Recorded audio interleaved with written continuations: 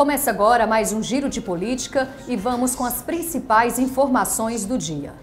O projeto de lei que pretende estabelecer em Goiás a política estadual Preste Atenção de acolhimento e atendimento às pessoas com déficit de atenção, com hiperatividade de TDAH, foi apresentado na Assembleia Legislativa do Estado. A finalidade é assegurar tratamento integral e adequado a casos diagnosticados, abrangendo todos os estágios da vida da pessoa com TDAH, com o objetivo de promover acolhimento social, atendimento multidisciplinar na área da saúde e acompanhamento integral na área da educação.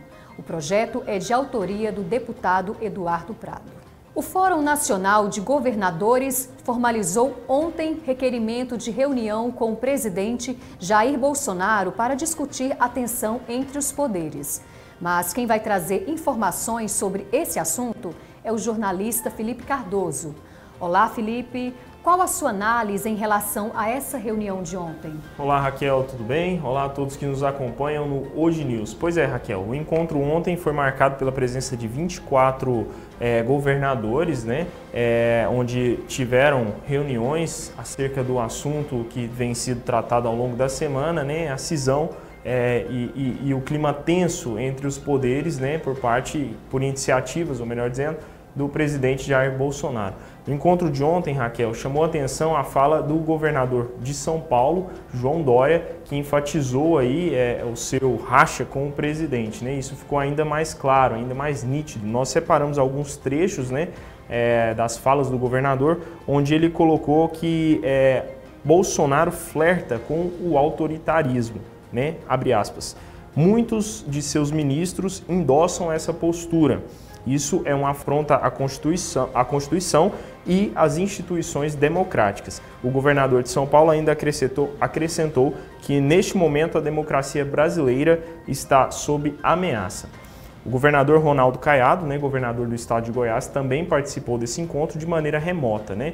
Ao falar sobre o assunto, ele enfatizou a necessidade de um diálogo com o presidente.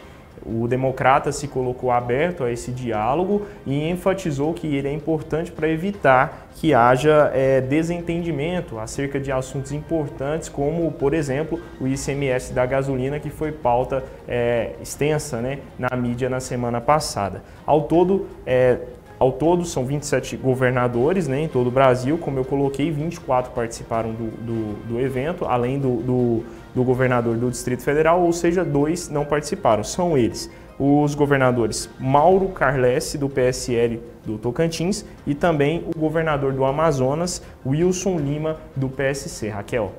Certo, Felipe, daqui a pouco te chamo é, para comentar sobre o encontro de Lula com o senador Tasso Gereissati e Cid Gomes. A Comissão de Relações Exteriores e de Defesa Nacional da Câmara dos Deputados rejeitou o projeto de lei que torna crime o desvio de finalidade na atuação de serviços de inteligência. O texto insere dispositivos na Lei de Crimes de Abuso de Autoridade. O colegiado acolheu parecer em que o relator Deputado Vitor Hugo, PSL Goiás, realça que essas atividades no Brasil já seguem dispositivos constitucionais, legais e regulamentares. A proposta foi apresentada pelo deputado Carlos Zaratini, do PT São Paulo, e outros 37 parlamentares após a revelação de um relatório elaborado pelo Ministério da Justiça no qual foram compiladas informações sobre quase 600 servidores públicos ligados a movimentos antifascistas e opositores do governo Bolsonaro. Conforme a proposta, utilizar-se da atividade de inteligência com finalidade distinta da preservação da soberania nacional ou defesa do Estado democrático de direito, mediante violação do direito à intimidade ou da livre expressão do pensamento, será crime sujeito à pena de reclusão de 1 a 4 anos e multa. A Polícia Federal cumpre 14 mandados de busca e apreensão na Operação Daia, deflagrada hoje. Os mandados foram expedidos pela Justiça Federal em Goiás, Tocantins, São Paulo e Distrito Federal para investigar a atuação de lobistas que favoreciam uma empresa operadora de portos secos no Departamento Nacional de Infraestrutura de Transportes, DENIT. Entre os alvos da operação está o diretor de Infraestrutura Ferroviária, Marcelo Almeida Pinheiro Chagas. De acordo com as investigações, desde que venceu a licitação da Receita Federal para explorar o Porto Seco de Anápolis, em Goiás, a empresa suspeita passou a ter problemas na fase de habilitação em relação ao terreno para a construção do Porto Seco. E mudando de assunto, adversários históricos, o ex-presidente Luiz Inácio Lula da Silva e o senador Tasso Gereissati se encontraram ontem em Fortaleza. Em outra reunião, Lula também se encontrou com o senador por Ceará, Cid Gomes.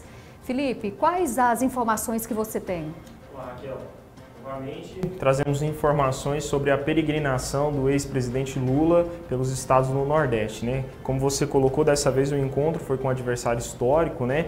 Tasso Gereissati, do PSDB, e também, num, num, num, segundo momento, Lula acabou se encontrando com Cid Gomes, do PDT, ambos representantes do estado do Ceará.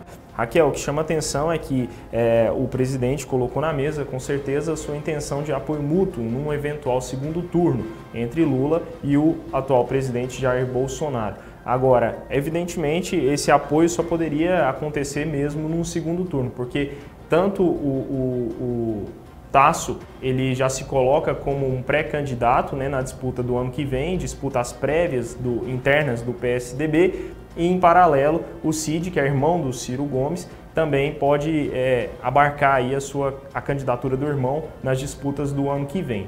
O que, que acontece, Raquel? É, essa reunião aconteceu primeiro, no, foi com o Tasso no escritório político, e em seguida Lula se dirigiu à sede do Poder Executivo do Ceará, que é o Palácio da Abolição, onde ele se encontrou com o senador Cid Gomes. Né? Estiveram também, Raquel, presentes no encontro o governador do Ceará, Camilo Santana, do PT, e a presidente nacional da sigla, Gleice Hoffmann. Certo, Felipe, obrigada pelas informações. E termina aqui mais uma edição do Giro de Política. Nosso objetivo é deixá-lo bem informado com notícias locais, nacionais e internacionais. Até amanhã.